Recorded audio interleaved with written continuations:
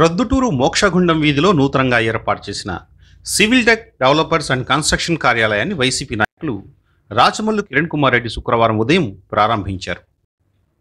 మారుతున్న ప్రజల అభిరుచులకు అనుగుణంగా ఇళ్ళ నిర్మాణంలో అధునాతన టెక్నాలజీని వినియోగించడం వారి భద్రతకు అనుగుణంగా ఐరన్ డోర్స్ యూపీసీ విండోస్ ఏర్పాటు చేయడంతో పాటు నిర్మాణ రంగానికి సంబంధించిన పలు సేవలు అందించే దిశగా civil tech developers and construction ఏర్పాటు చేశామని ఆ సంస్థ నిర్వాహకులు వడ్ల దాదాపీర్ వడ్ల ఖలీలులాల్ చెప్పారు.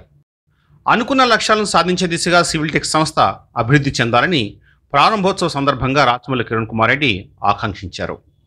సివిల్ టెక్ ప్రారంభోత్సవ కార్యక్రమంలో గంజగుంట రాజారెడ్డి పల్లవూరు విజయభాస్కర్ రెడ్డి నరాల శివరామరెడ్డి ఇరగంరెడ్డి విజయగోపాల్ రెడ్డి సుదర్శన్ రెడ్డి నారాయణ రెడ్డి శ్రీనివాసులు రెడ్డి వెంకటరత్నం ముత్తయ్య ఆరవ మునీర్ తదితరులు పాల్గొన్నారు. దీన్ని స్థాపించినాడో ఏర్పాటు చేసినాడో ఆ ఉద్దేశము నూటికి నూరు రూపాయలు విజయవంతం కావాలని మనస్ఫూర్తిగా కోరుకుంటున్నాను. ఇప్పుడు కొత్త వడి వడుకలన్నీ వచ్చినాయి. టెక్నాలజీ కొత్తగా వచ్చింది.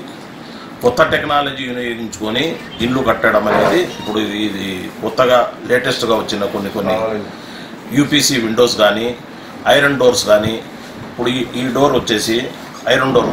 సేఫ్టీ డోర్ ఇది. ఊర్లోకి ఎవరి ఎవరైనా కానీ ఊర్లోకి పోయినా కానీ దొంగలు పగలగొట్టి దానికి ఏదన్నా ఇంట్లో వస్తువులు అట్లా దొంగతనం జరగకుండా సేఫ్టీ డోర్స్ అంటారు దీనికి.